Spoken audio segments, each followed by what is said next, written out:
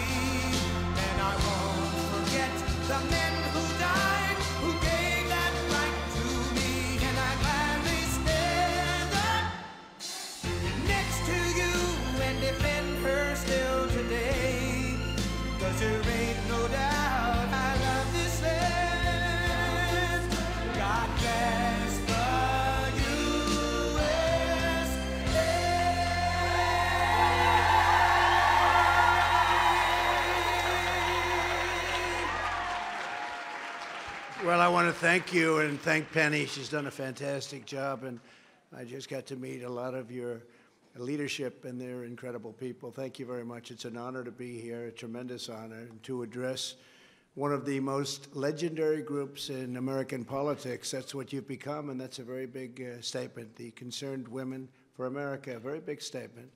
I was proud to be the very first candidate to sign your presidential pledge. That was a pledge that was very easy to sign. It took me about 30 seconds. I read quickly. I look at it. I say, I'm going to do that. You think Joe Biden would? First of all, he couldn't read it. He wouldn't know. What does this mean? No, I looked at it very quickly and I said, that's perfect. Uh, but it's a pledge. It is a pledge, vowing to defend the dignity of women and affirming the ultimate truth that all women are female. Can you imagine if you said that 10 years ago? People would say, What the hell does he mean by that? Of course, that's it's incredible what's uh, happened to our country and to the world to a large extent. But what's happened to our country, at last, think of it all women are female, and I have to make that statement. shouldn't be necessary, should it? As another statement we say, uh, we will not allow the mutilation of our children. Can you imagine? Can you imagine? No, but can you imagine making that statement 10, 15 years ago? People would say, of course you're not going to do that.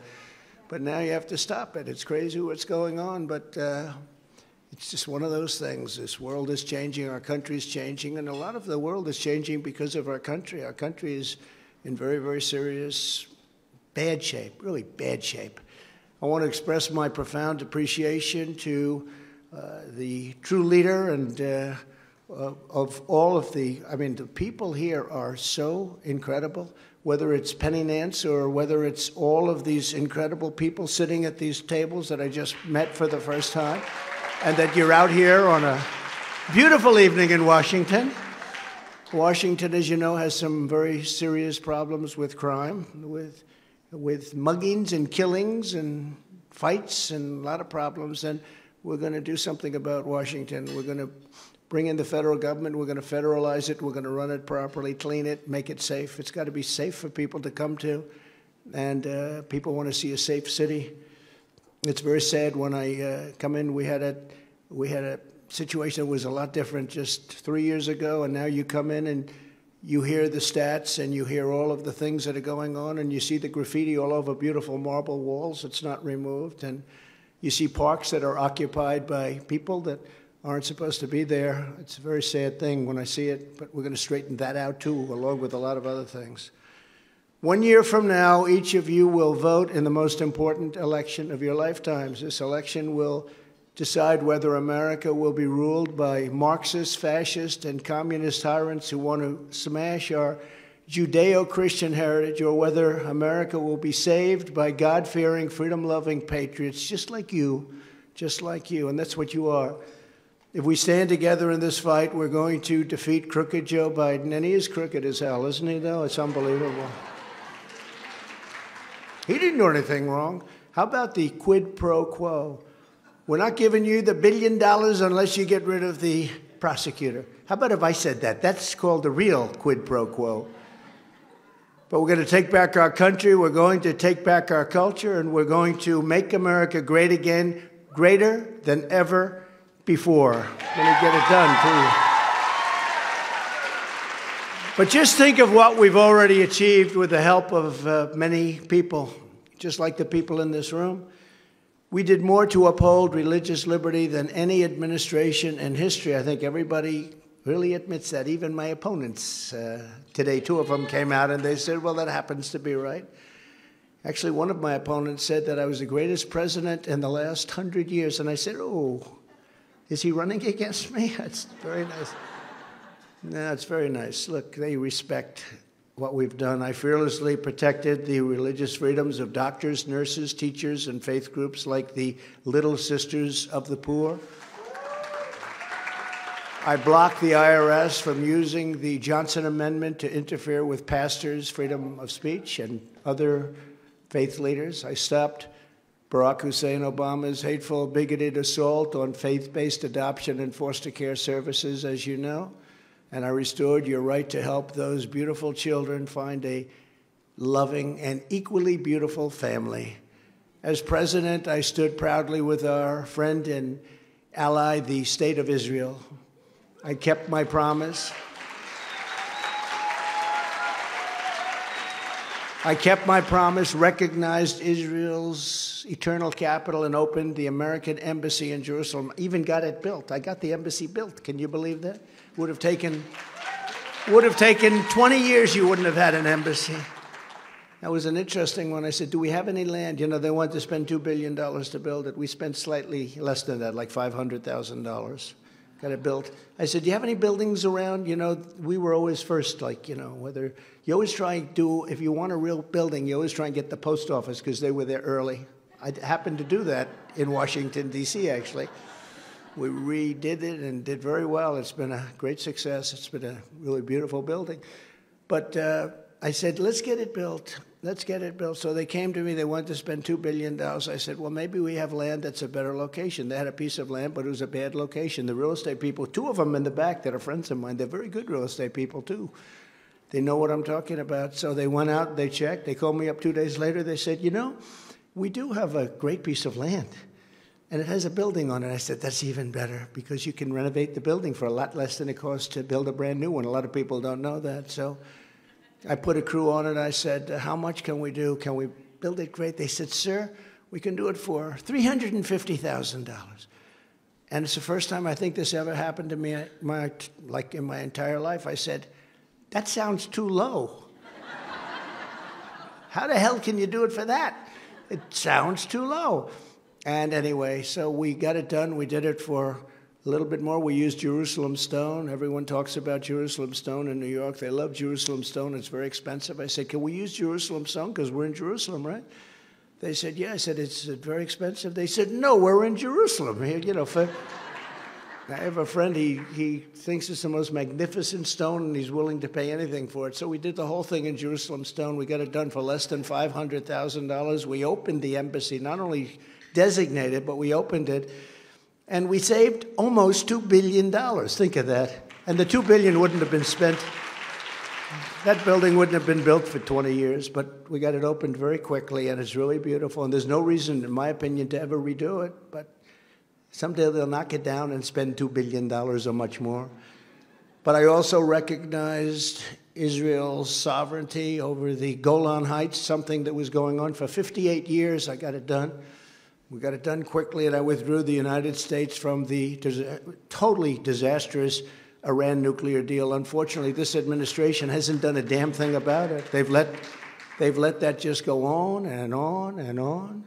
And then they made a deal, as you know, for five hostages. I said, oh, that sounds okay. Five hostages. They had five, we had five. That sounds okay. But they forgot to tell me one thing. In addition to the hostages, they get $6 billion. You know that deal? You heard about that deal? That's not a good deal. That's not. What are they doing? It's a five for five. They said it's a five for five split. Plus, they get $6 billion. Oh, that doesn't sound too good. But that's what happens with this country. I've never seen anything like it, whether it was trade deals or any other kind of deal. It always seems that we get the short end. We traded, we did such a job on trade. We redid trade deals at a level that nobody's ever seen before and took bad deals like NAFTA and we made them great deals, the USMCA. That's United States, Mexico, Canada. We did an incredible trade deal with China that I don't even talk about. They buy $50 billion worth of our farm product and manufactured product, but I don't even talk about it because of what happened with COVID. But South Korea, we did incredible deals. Japan, we did incredible deals. We took deals that were horrible and made them good. And we did a lot of things. We did a lot of things. We've been given actually a lot of credit, even by the fake news. But here at home, we totally transformed the federal judiciary. And as Penny said, I heard her opening remarks, and she said uh, we appointed nearly 300 judges, really brilliant judges, and they interpret the law as written. Constitution, it's, uh, we like to say the Constitution as written. That's the way they interpret. Together we withstood vicious attacks to confirm three great Supreme Court justices Neil Gorsuch, Brett Kavanaugh, and Amy Coney Barrett really good people too. And I'm also proud to be the most pro life president in American history. Very important. We're going to talk about that in just a second. From my first day in office, I took action to protect the unborn. I reinstated the Mexico City policy, stopped taxpayer funding for the abortion of industrial complex and at the United Nations, I made clear that global bureaucrats have no business attacking the sovereignty of nations that protect innocent life. They have no business doing that. And I was the first sitting president ever to attend, as Penny also mentioned, the March for Life rally right here in Washington, D.C. They talked about attending it. You know, presidents for years talked about attending. Oh, I'm going to go, I'm going to go. And then it happened that they didn't go. And uh, none of them went, none of them. But I went, and it was a beautiful day. One year ago, in a victory that conservatives had been seeking for 50 years, 50 years they've been fighting for this, those same Supreme Court justices and the Supreme Court ruled to end the moral and constitutional atrocity known as Roe v. Wade. Very important. Nobody thought that could be done and so important, and it's, it's not discussed right, it's not talked about right. To be honest, Republicans don't know how to discuss the subject, but they're the radicals, not us. The Democrats are the radicals. So now pro lifers have a tremendous power to negotiate. You had no power whatsoever, there wasn't a thing you could do. But now you have tremendous power to negotiate, which they didn't have before the ruling. This moves the issue back to the states. Everybody wanted it to go back to the states. All legal scholars on both sides, they wanted it back to the states where it should be. Like President Ronald Reagan before me, I support the three exceptions for rape, incest, and the life of the mother. And I think it's very hard politically if you don't support, but you have to go with your heart. You have to go with what you believe, and you have to rely on your heart for that. But I I do support the exceptions. Ronald Reagan did, and many others do. And uh, I think if you don't, it's, it's politically very difficult. But again, you have to go with what you feel. Remember, the Democrats are the radicals on an issue like this. This is a very important issue, but they're very radical because they're willing to kill babies in their fifth, sixth, seventh, eighth, ninth month, and even after birth. You know, they kill babies after birth. You remember the uh, governor? I call him Michael Jackson. Remember? He's a big fan of Michael. He was going to almost do the uh, moonwalk, and then his wife stopped him. She did a great thing. It's probably the greatest contribution ever made to him. But he uh, talked about the baby's born, and then we'll discuss with the mother what to do with the baby. This is the baby is born. And uh, these are extremists, not us. They're the extremists. The, the politicians and the people that have this issue, they fought for 50 years to get it, and they have to know how to talk about it because they're not talking about it correctly. And uh, when they do talk about it correctly, it's an issue that really uh, can be positive because we do have to hold on to office, we do have to win, and we can win elections on this issue, but it's very delicate, and explaining it properly is an extremely important thing. You have to be able to speak and explain it properly. And a lot of politicians who are pro life do not know how to discuss this topic and they lose their election. We had a lot of election losses because of this, because they didn't know how to discuss it. They had no idea. I heard some of the people discussing it, and they didn't. They just didn't have a clue. And we can't let that happen. It's an incredible thing, and uh, we gave them this unbelievable power to negotiate a great deal. And remember, before the termination of Roe v. Wade, they had no power and you had no rights. No rights. And done properly, our nation after 52 years, can finally come together. This has been a rough issue for our country for many, many years. And you can come together and you can have victory, but you can come together, but you have to be able to uh, discuss it properly because it's so, it's so bad when I listen to people talking about it. They don't know what to say. They feel it, they want it, they love it, and from a religious standpoint, they love it so much, but they don't know how to talk about it.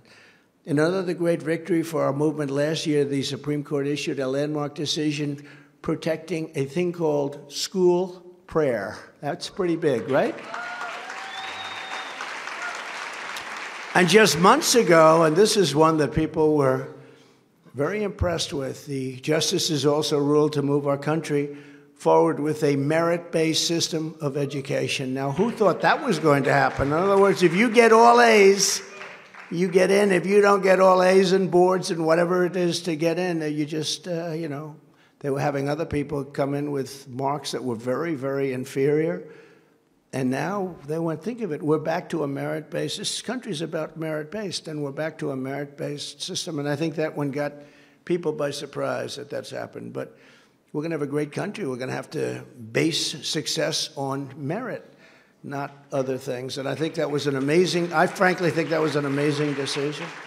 But it's no wonder the far left lunatics, perverts, and criminals are getting desperate to stop our movement by any means necessary. They are really trying to stop us, as you perhaps have read.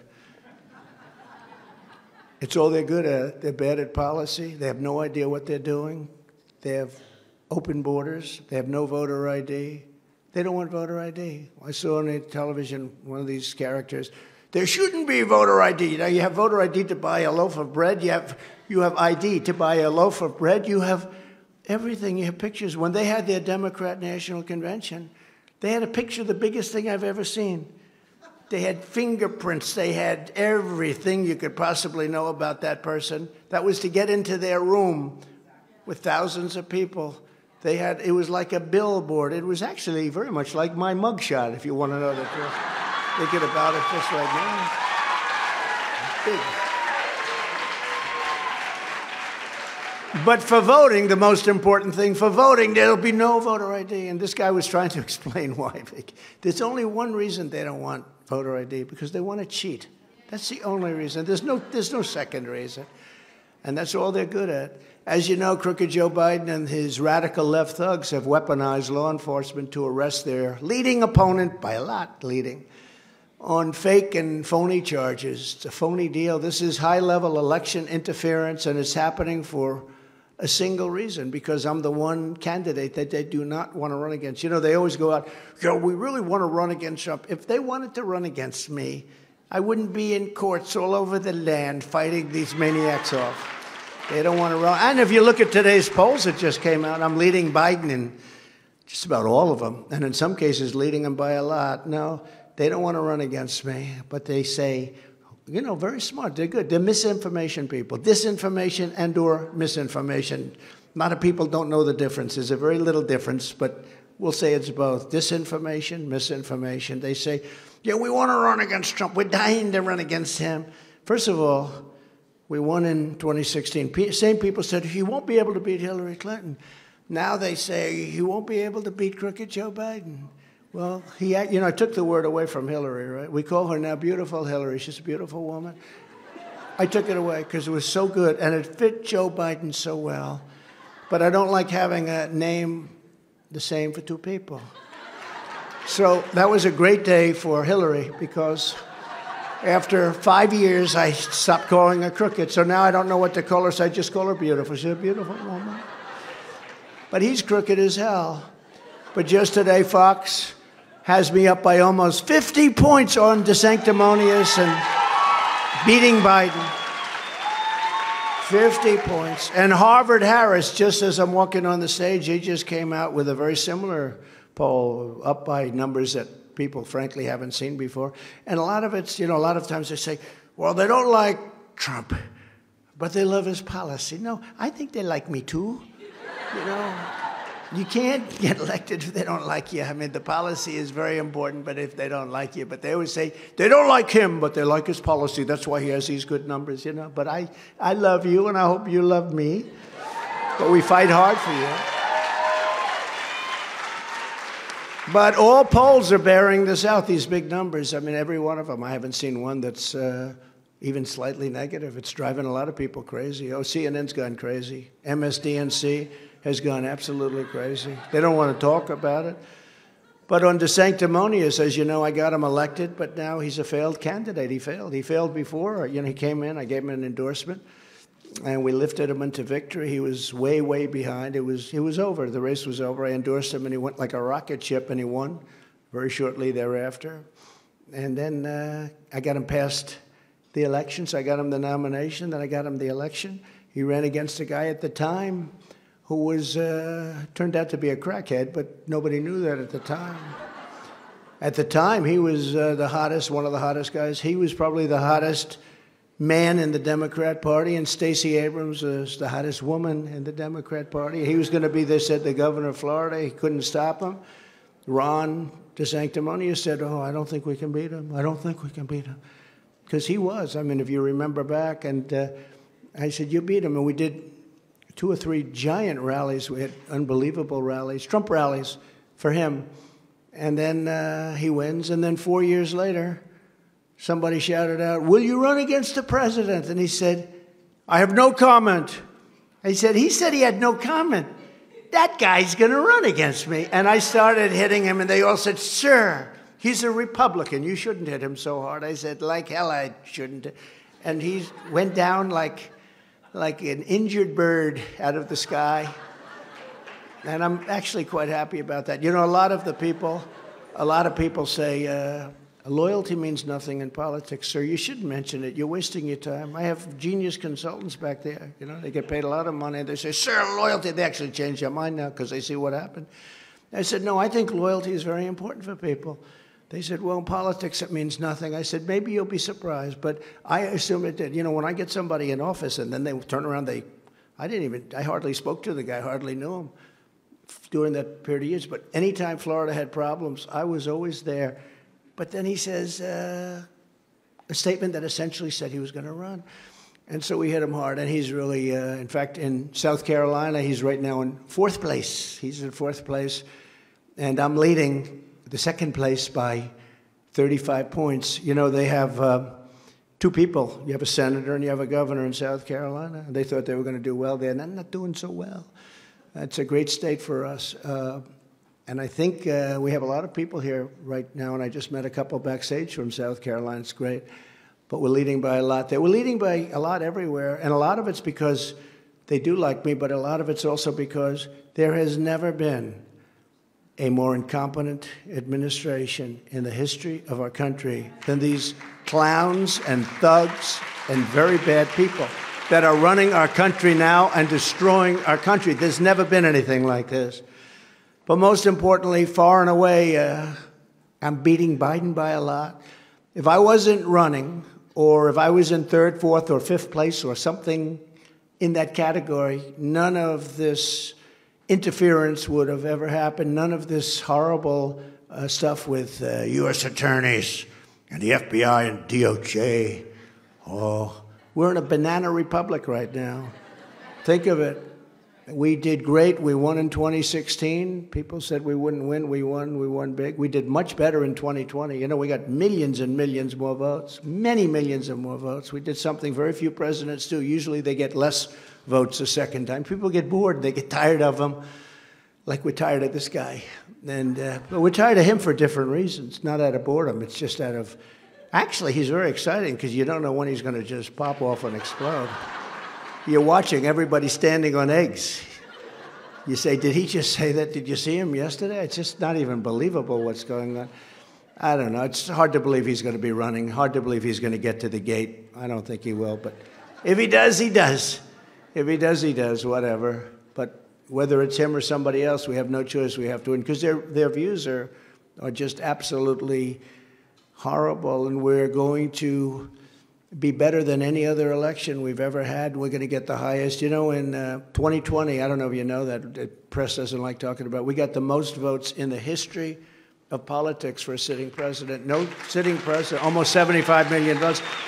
And that's what they say. That's not including the other votes that they didn't, they forgot about. But we got the most votes in the history of politics. I was told if we could get, we got 63 million and we won. And I was told that if we got 63 million, we couldn't lose by the best pollsters. And we got about 12 million more votes than that. And they say we lost. You know, it's horrible. So they rigged the presidential election in 2020, and we're not going to allow them to rig the presidential election of 2024. We're going to bring our country back. Every time the radical left Democrats, Marxists, and communists and fascists indict me, I consider it a great badge of honor. I really do. Because, in a true sense, I'm being indicted for you. Thanks a lot, everybody. I appreciate it. I appreciate it. And did you see today that deranged Jack Smith? He's the prosecutor, he's a deranged person. Wants to take away my rights uh, under the First Amendment, wants to take away my right of speaking freely and openly. Never forget, our enemies want to stop us because we are the only ones that can stop them. They want to take away my freedom because I will never let them take away your freedom. I'm standing here.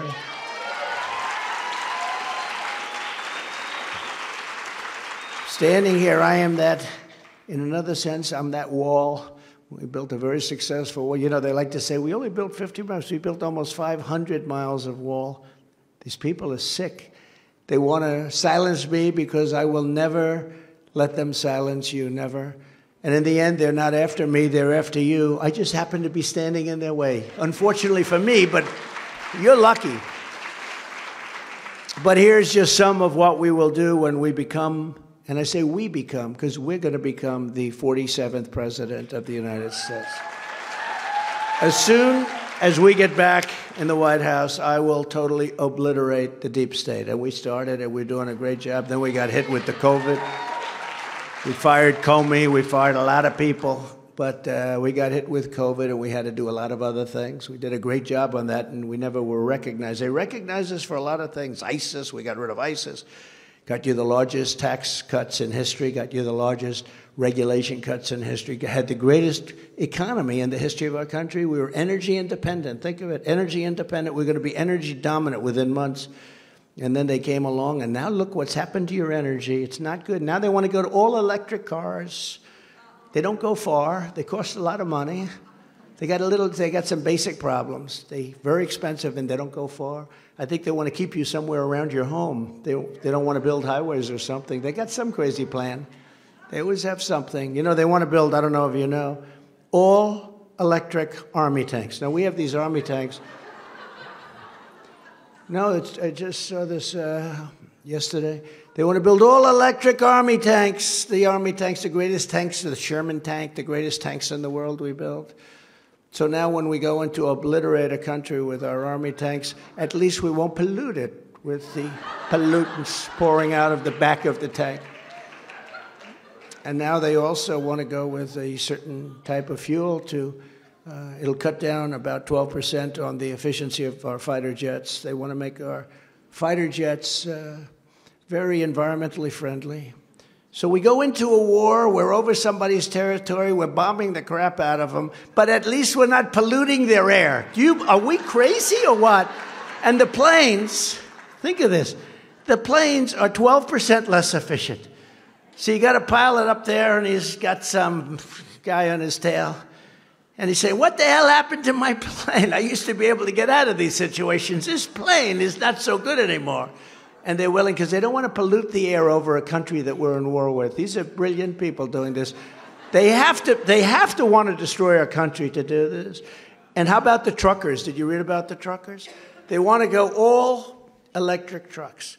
Now, there are a couple of basic problems, uh, but I met with truckers, and they said every year for 50 years, the trucks got better and better and better. We expected. We had to pay millions of dollars for trucks, but they got better, better, better.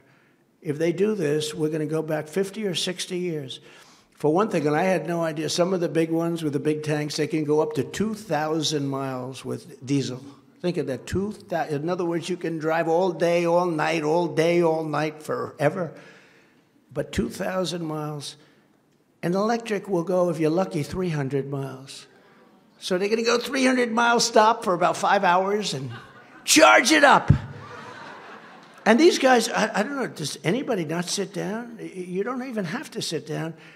So they're going to destroy our trucking industry. And right now it's a regulation, and they're actually serious about it. I actually thought all this stuff with the Army tanks and the jets and all the things, I actually thought it was, you know, some kind of a comedy skit. But it's not. They really mean it. And they're going to destroy our, you know, destroy our trucking industry. You think you don't get your goods right now, you're going to see, you're going to see some mess. But I will fire every corrupt official who has weaponized our government against Christians, conservatives, patriots, and people of faith. We're going to fire them. You're fired. You remember The Apprentice? I'm sure nobody remembers The Apprentice. You're fired. Get out of here. You know, that show ran for 12 years. 12 years. It was a tremendous success.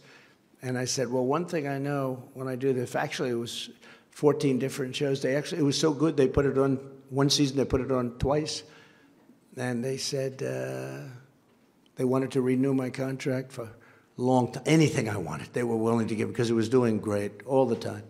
But I had done it for 12 years. That's a long time, considering I was never in show business before. Right? And it did phenomenal for them. And I said, one thing for certain NBC is going to treat me so good. They're going to treat me so good. They are so bad. MSNBC and MSDNC, I call it. But they are so bad, but that's all right. But they want to give me a long term. I think that's why they're bad. I wouldn't extend. They gave it to Arnold Schwarzenegger, and that didn't work out too well. That lasted about uh, two minutes.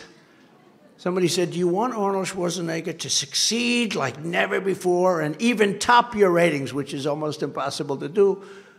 But would you rather have that and we own the show? Would you rather have that or would you rather have him fail? Because I know what, what the fake news would do. If he was successful with it, they'd say, see, Trump didn't do so good. Because look, we got a movie star and he took over. Well, I said, probably I'd rather see him fail, to be honest with you. And he did, he failed. Didn't work out. But The Apprentice was great. But he said, you fired. And I fired a lot of people, but we're going to have to fire a lot more because that deep state runs deeper than we thought. Before I even arrive at the Oval Office, shortly after I win the presidency, I will have the horrible war between Russia and Ukraine settled, and it would have never happened. It would have never, ever happened if I was there. I used to talk to Putin about it. I've said it very openly. I talked to him about it. It was the apple of his eye. I said, Don't do it, Vladimir. Don't do it, Vladimir. Oh, you'll be making such a mistake. And I told him a couple of things. He said, You wouldn't do that. I said, Yes, I will. No, you wouldn't.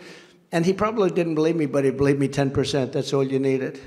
But I said, Don't do it. As soon as I left, they started to form, and we saw the handwriting. And then we had the disaster of Afghanistan, which I think was the most embarrassing moment in the history of our country, and the press doesn't even want to talk about it anymore. The most embarrassing moment in the history of our country, and Putin saw that, and China saw that, and they saw that we had a lot of very incompetent people, and uh, it was it was a rough time. But we'll get that done. We'll get it done very quickly. As the Bible says, blessed are the peacemakers. You know that, right? Blessed are the peacemakers. I made peace. Remember, Hillary said, He will take us into war. No, I took us out of all these wars. I got us out of Syria, got us out of Iraq. I protected Israel. They would have been in a big problem but I'll be your peacemaker, and I am the only candidate who can make this promise to you. I will prevent World War III. We are very close to World War III. Let me tell you, we are very close to World War III, and World War III will be like no other because of the power of the weaponry. The weaponry we have today is just incredible, and others have, by the way but I will prevent World War III and I'll heal our relationship with the state of Israel to reverse the damage that crooked Joe Biden has done. Unlike Biden, I'll not be giving the $6 billion as ransom to countries for five people, five people. I will stop the disaster known as Bidenomics. He thinks it's good. You know, Bidenomics started up being a really bad thing and they use it as a negative expression, but he liked the sound of it, so now he's trying to promote it as being a wonderful thing. But it really means inflation, taxation, submission, and failure. Other than that, it's quite good. Those are four pretty cool things, aren't they? But not if you have to live with it like the people of our country have to do. I will regain energy independence as we had three years ago and achieve energy dominance. You know, we have more liquid gold under, if I call it liquid gold, that's what it is. We have more liquid gold than Saudi Arabia or Russia, than anybody. And we were going to be drilling, and we were drilling, and we were filling up the strategic reserves, which now he's emptied to the lowest level ever, ever. You know that, right? The lowest level ever, in order to keep gasoline prices down on people so they'd vote for a Democrat, but uh, artificial, very artificial. Now it's up to $5, I see. Gasoline is up to five, six, seven dollars in some places. It's going up very rapidly. But America was going to have, we're going to make so much money. We're going to then, we're going to sell to Europe, oil and gas, sell it to Europe, and we were going to start paying off our 35 trillion dollars in debt, and we were going to lower taxes still further. We're going to do great things, but when they came in, they ended everything. And that's what caused inflation. Energy caused inflation. Now everything's causing inflation. It's a mess. And the numbers came out yesterday that inflation is absolutely not in control. And inflation's a nation killer, by the way. You go back 200 years and 100 years, you look at any nation that's had rampant inflation, they die. Those nations die. America will have the number one lowest cost of energy and electricity anywhere in the world. We'll do that. You know, New England pays the highest in the country, and uh, they, uh, I, I, explained to them, I said, you know, we can't get, they can't get a pipe going through upstate New York where everyone wants it to go through because they want the jobs, because it's really in bad shape. And uh, if that happened, you'd cut it in half immediately. Instead, ships come, many from Russia, can you believe it? They were all coming from Russia, and they load it up and they give it to New England, but it's a very expensive. They have the highest prices for energy. They should never vote for a Democrat, I'll tell you that. They do, they tend to, but they should never even think about it. Under, under my, and, and you have to see this because we have something incredible, really incredible planned, and some incredible things, but upon my inauguration, I'll terminate every open borders policy of the Biden administration and quickly achieve the most secure border in U.S. history, as we had three years ago. We had the most successful border three years ago. We built nearly 500 miles of border wall. All that's all certified stuff, by the way. You know, they like to say, "Well, he didn't build the wall." It wasn't easy when you had uh, Paul Rhino. Do you know who Paul Rhino is? Paul Ryan. Paul Rhino, and you had uh, Mitch McConnell, and they fought. They fought so hard, uh, and I got it anyway. And I got it I got it done. Then we were going to add 200 more miles, and that was all set to go. And then we had the election situation take place, that horrible situation, horrible day in our, and it's going to go down as that. It'll be a horrible day in our country's history. And because of that, I said, these guys don't want to finish. It would have taken three weeks to put up another 200 miles of wall. It was all there, it was all ready to be assembled. But uh, we got Mexico to give us 28,000 soldiers free of charge. You know, they always say, Mexico, Mexico. Well, Mexico paid fortunes for that. We had 28,000 soldiers free of charge. You know, when they say Mexico didn't pay, Mexico paid much more for that because I needed that. We didn't have to worry about the war. We got that from the military because I considered it an invasion, so I took it out of the military, which is just a small portion of their budget.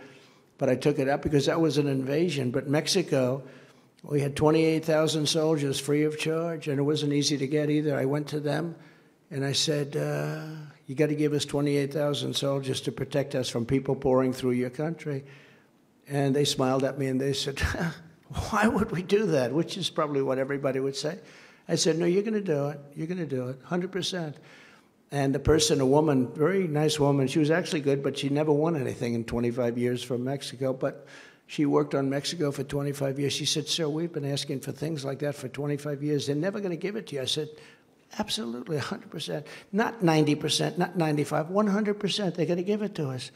Sure, they won't. And we asked for other things like remain in Mexico and all sorts of things, Title 42. So I said, Give me a list of your top 10 things. And they wrote it down. The Border Patrol wrote down things. Border Patrol's great. ICE wrote down things. They're great. These are great patriots. These are tough guys. They all wrote down 10 things. But the big thing was the 28,000 soldiers, I guess you'd say. And uh, the top person from Mexico came in, just right under the president, who's a friend of mine. I mean, he's a great guy. He came in, and I said, You're going to have to give us 28,000 soldiers. No, no, no, we will not do that. I said, Yes, you will. And he said, No, no, we will not do that. I said, Here's the story. It was a Friday evening. I said, on Monday morning at 7 o'clock in the morning, you're going to be paying a tariff or tax of 25% of every car. You know, they stole 32% of our car industry, just so you know. They send us millions of cars. Of every car and every product from Mexico into the United States, you're going to be paying a tariff. And here are the papers right here. I'm going to sign them now, but it goes effect 7 o'clock on Monday morning. And he said, uh, May I make a phone call?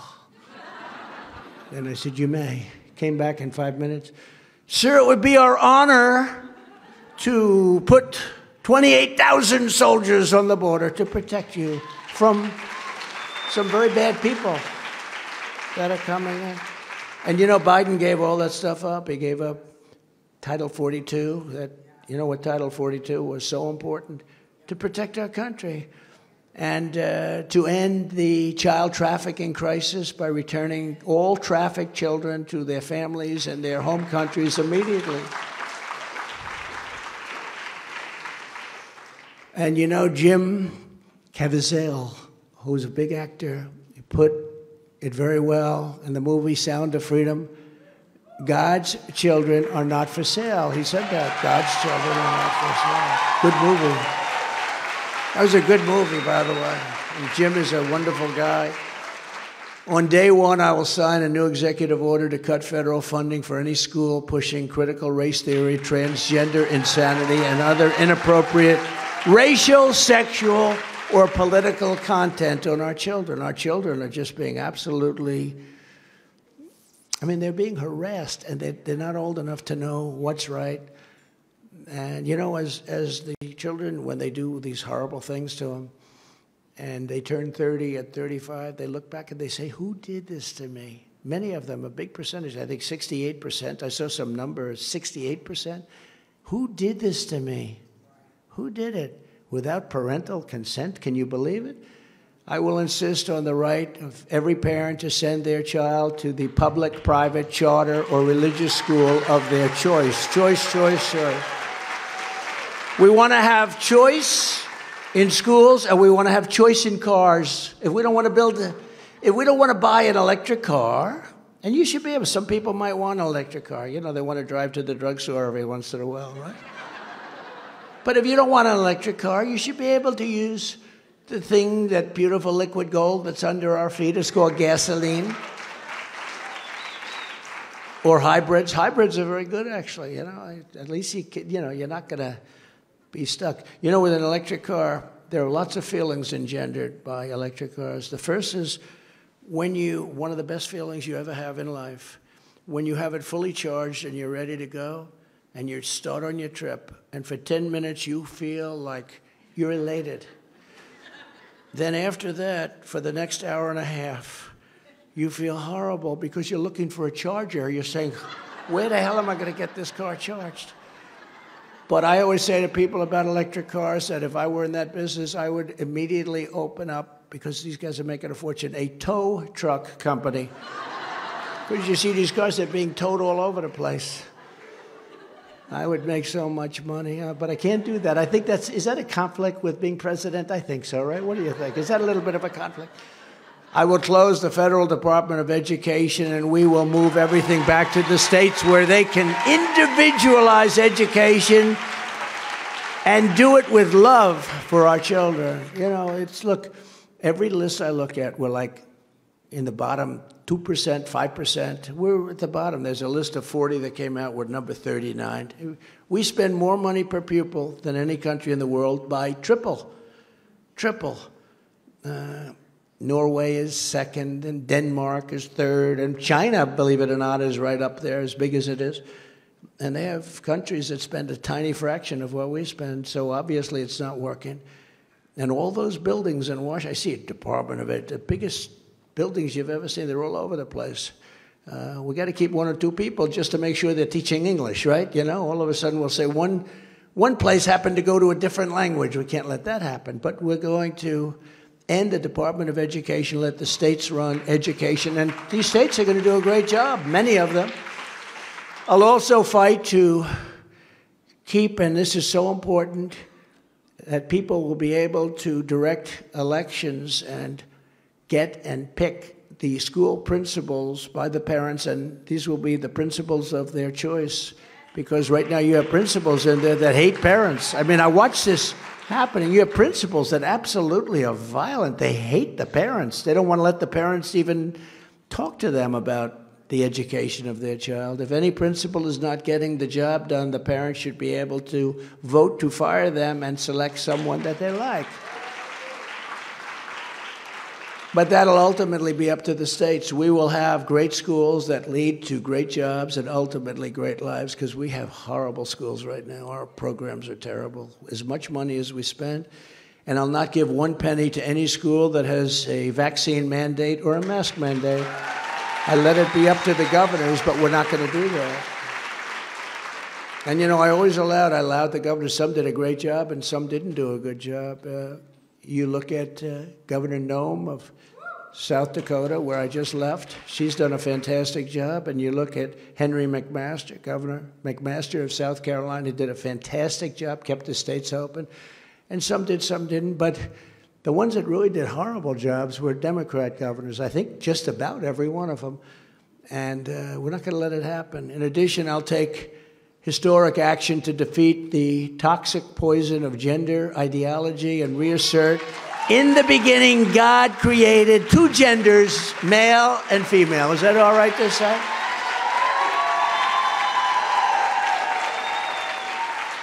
See, the, the press back there is going to say, We have breaking news. He said there is two genders, male and female, headlines.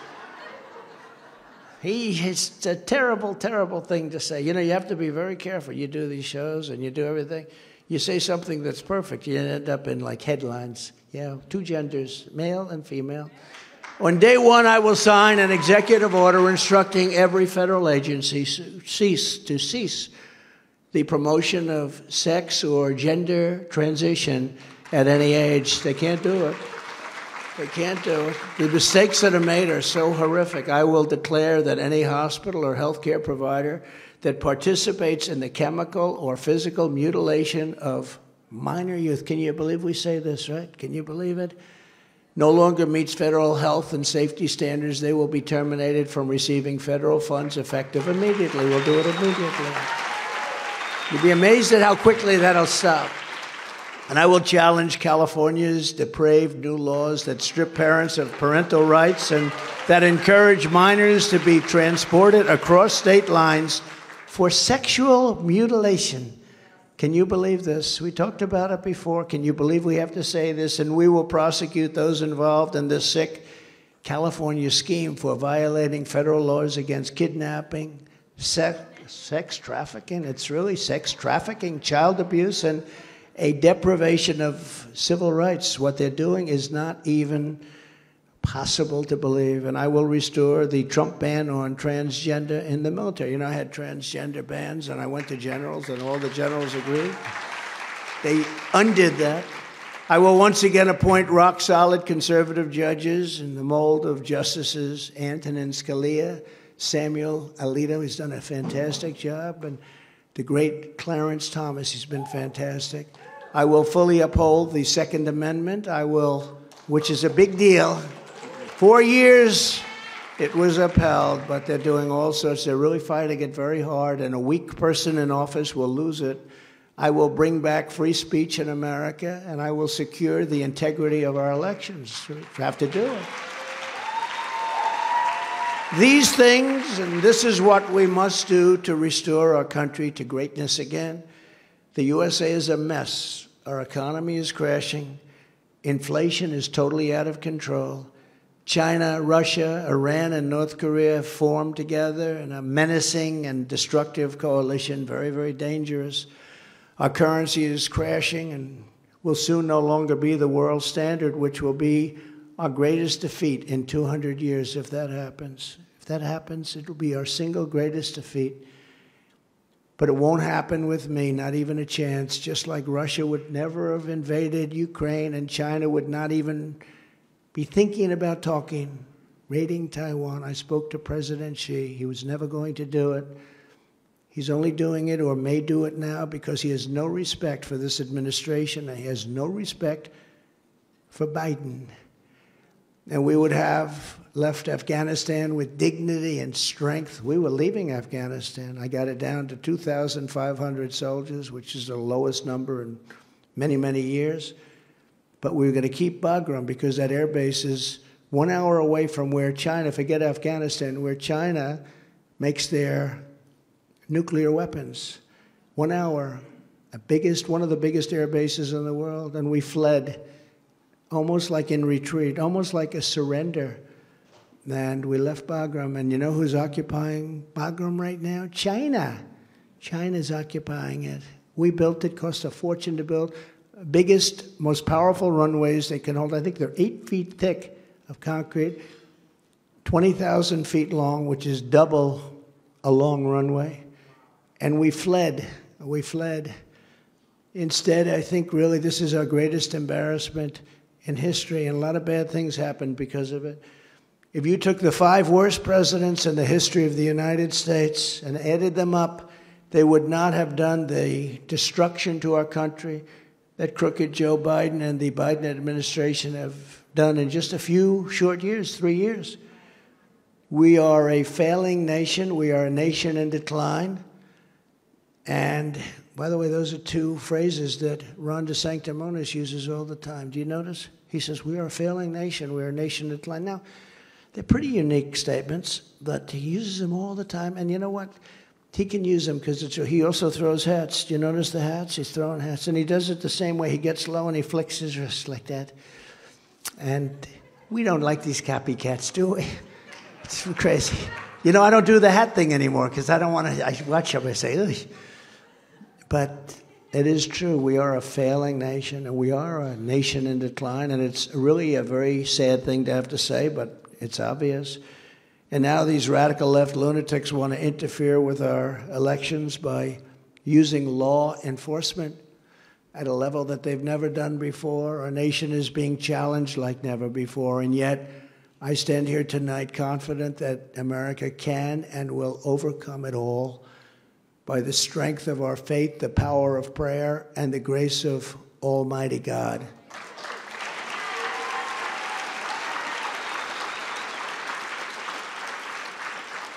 And many political people will not say those words. They will not say those words.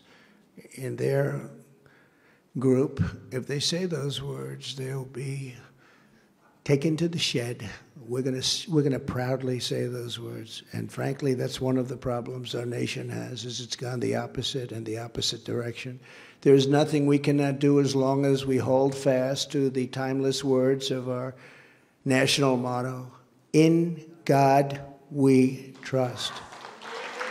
So with your help and your prayers and your vote, we will stand up for the women of America. We will put America first, and we will, without question, make America great again, greater than ever before. Thank you very much. It's a great honor to be here. Thank you. Thank you very much.